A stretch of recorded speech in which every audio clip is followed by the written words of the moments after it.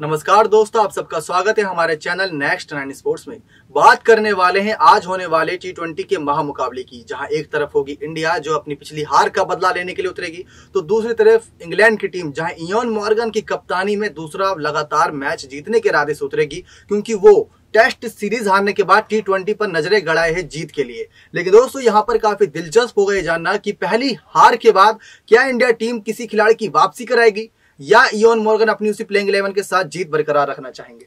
दोनों टीमों के अगर टीम कॉम्बिनेशन में चेंजेस अगर हम देखेंगे तो आज हम टीम इंडिया में कोई चेंजेस देख सकते हैं क्योंकि टीम इंडिया में शायद अक्षर पटेल आज ना खेले उनकी जगह कोई एक फास्ट बॉलर खेले और मेरे हिसाब से कोई फास्ट बॉलर आएगा तो टी नटराजन एक ऐसे बॉलर हैं जिन्होंने करके भी दिखाया है ऑस्ट्रेलिया में जाके। आप उन्हें एक परफेक्ट रिप्लेसमेंट के तौर पर यूज़ कर सकते हैं और आप अपने बैटिंग ऑर्डर में अगर चेंजेस करना चाहते तो शिखर धवन को बैठा के किसी एक ऐसे खिलाड़ी कह सकते हैं। राहुल विराट कोहली ये दोनों कर सकते हैं ओपनिंग इन्होंने करी भी है ओपनिंग ये दोनों ओपनिंग कर सकते हैं। सूर्य कुमार यादव को आप मिडिल ऑर्डर में फिट कर सकते हैं अगर आप करना चाहें तो। जी बिल्कुल। मौका तो मिलना चाहिए क्योंकि सूर्य कुमार यादव तैयार है बिल्कुल तैयार है। ईशान किशन जैसे लोग ये भी ओपनिंग कर सकते हैं। क्या आप ऐसा एक्सपेरिमेंट अगर करना चाहते हो टी ट्वेंटी से पहले आप ऐसी टीम तैयार करना चाहते हो तो आपको इन मैचों पर ही एक्सपेरिमेंट करना पड़ेगा। क्योंकि इसके बाद आने वाला आईपीएल है। आईपीएल में कोई ऐसा प्लेयर जो मेरे हिसाब से सारे अपने अपने टीम के लिए कोई मौका नहीं मिलेगा। अलग होगी।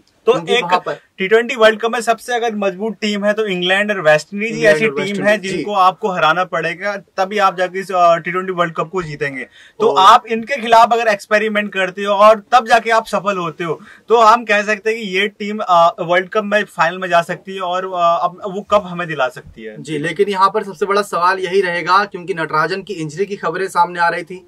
और देखा जाए तो विराट कोहली नवदीप सैनी पर भी काफ़ी भरोसा जताते हैं क्योंकि आरसीबी यानी रॉयल चैलेंजर बेंगलोर की तरफ़ से ही खेलते हैं कोहली की कप्तानी में खेलते हैं और ज़रूरत पड़ने पर विकेट लेकर भी देते हैं। ऐसी बात नहीं तो नवदीप सैनी भी एज ऑप्शन के तौर पर एक्सपेरिमेंट की बात है तो मिल भी सकता है उन्हें बिल्कुल एक्सपेरिमेंट की बात कर रहे हो तो हम शार्दुल ठाकुर ने भी कुछ गलत नहीं करा है भुवनेश्वर कुमार ने भी कुछ गलत नहीं गलत करा है तो इंडियन के बैट्समैन ने गलत करा था पहले मैच में तो वहाँ अगर कुछ चेंजेस होते हैं तो हाँ। वो मायने रखता है लेकिन अगर बॉलर में कुछ चेंजेस होते हैं तो ये एक मेरे हिसाब से सोचने वाली बात होगी विराट कोहली के माइंड सेट पे किस तरह से माइंड सेट से लेके चल रहे हैं जहाँ पे ज़रूरत है चेंज करने की। आप वहाँ पे जाके चेंज करिए अपने आ, उस आ, उस एटीट्यूड को चेंज करिए जहाँ पे आपने कमेंट करा था कि हम जाके सीधे फियरलेस क्रिकेट खेलेंगे बिना पिच को देखे हुए बिना कंडीशन को समझे हुए। जी बिल्कुल। तो मेरे हिसाब से वो एक एटीट्यूड चेंज होना चाहिए तब जाके कुछ चेंजेस हमें आज फ़ील्ड पे दिखेंगे वरना शायद वही आज हम सेकंड दूसरा मैच भी हारने के कार पे होंगे। अगर वैसा ही माइंड सेट लेके हम चले तो।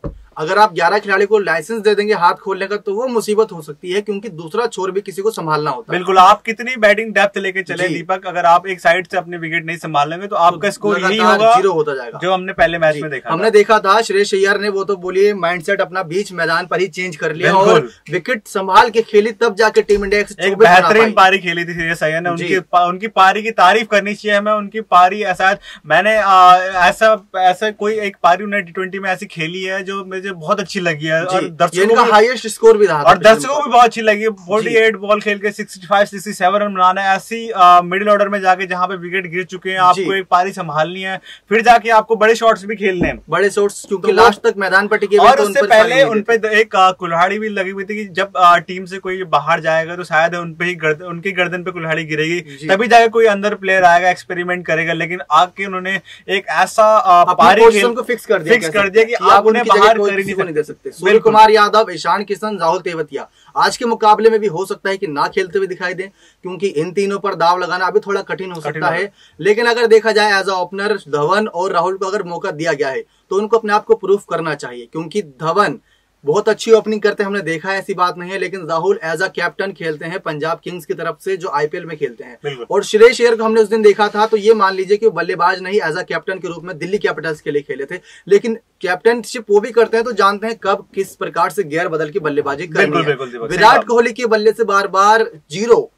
बहत्तर रन बनाते हैं तीन हज़ार बना देंगे लेकिन उसका इंतज़ार काफ़ी लंबा होता जा रहा है। उसके बारे में क्या कहना चाहिए विराट कोहली के अगर बैटिंग के बारे में कुछ कहें तो रन मशीन कहे जाते हैं वैसे और रनों के मामले में बहुत अभी थोड़ा सा उनका फ्लॉप तो चल रहा है ऐसा नहीं कि वो एक ऐसे माइंड सेट के साथ चल रहे हैं। मेरे हिसाब से उनको थोड़ा सा अपने बेसिक्स पे काम करना होगा दोबारा बैक जाके थोड़ा सा प्रैक्टिस करनी पड़ेगी अपने माइंड सेट को चेंज करना पड़ेगा थोड़ा पिच पे जाके दस बॉल बीस बॉल खेले तो सही वो। जी बिल्कुल। तब जाके अटैक करे और उसके बाद उन्हें हमें पता है कि एक सॉलिड स्तंभ है टीम इंडिया का अगर वो टिक गए तो टीम अधिक से अधिक मैच जीत जाती है। अगर विराट कोहली शुरुआत में दस बीस गेंद लेकर पाँच छह रन बनाते हैं तो, तो बची हुई बीस गेंदों पर वो कर सकते हैं। और मेरे हिसाब से सबसे ज़्यादा प्रॉब्लम अगर इंडिया को आ रही है तो स्कोर देने में आ रही है। चेज करते वक्त विराट कोहली का कोई मुकाबला नहीं है। कोई उनका कंपेरिजन ही नहीं कर सकता चेंज करने में कि वो अच्छा ना खेले। वो अच्छा खेलेंगे खेलेंगे अच्छा चेज करने में। लेकिन जब आप स्कोर दे रहे हो टीम किसी टीम को तो आपको वहाँ पे जाके थोड़ा सा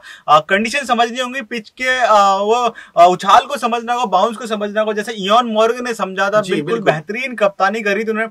किस बैट्समैन को किस वक्त कैसी बॉलिंग करानी है और किससे बॉलिंग करानी है ये बेहतरीन डिसीज़न विराट कोहली से ज़्यादा बेहतर इयन मॉर्गन ने लिया था पहले मैच में। जी तो आज हो सकता है कि तीन तेज गेंदबाज दिखाई दे अक्षर पटेल को आराम मिल सकता है क्योंकि पिछले सीरीज़ से ही टेस्ट टेस्ट सीरीज़ से अच्छा करते आए हैं। वॉशिंगटन सुंदर के साथ कंटिन्यू रहना चाहेंगे विराट कोहली और साथ ही साथ अगर इंग्लैंड की बात की जाए क्योंकि दुश्मनों की भी बात कर ली जाए बिल्कुल। वो जानना बहुत ज़रूरी होगा क्या उनकी टीम में कोई बड़ा बदलाव हो सकता है? मेरे हिसाब से कोई बदलाव नहीं हो सकता क्योंकि उनकी टीम इतनी अच्छी खेल रही है कि आप उनमें कुछ बदलाव ही नहीं कर सकते। आप किसे बैठाएँगे उनमें? सभी सारे अच्छे खेल रहे थे हमने पूरा देखे थे उनकी बॉलिंग अटैक दिखे थे।